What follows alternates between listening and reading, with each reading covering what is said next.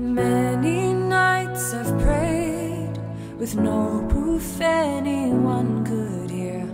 In my heart, a hopeful song I barely understood. Now I'm not afraid, although I know there's much to fear.